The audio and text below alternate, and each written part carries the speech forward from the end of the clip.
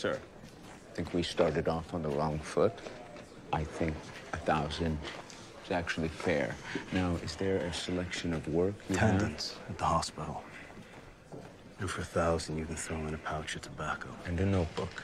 A notebook. I'm an artist. You're a forger.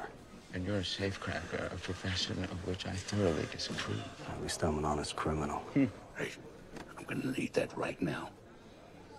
I mean, right now. Excuse me. I think you need to go to the bathroom. Yes, of course. If you'll excuse me, gentlemen.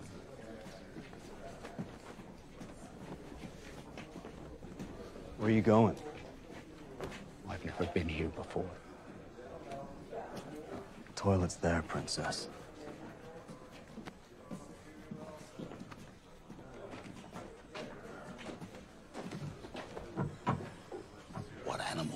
Man keeps his only means of survival up his ass?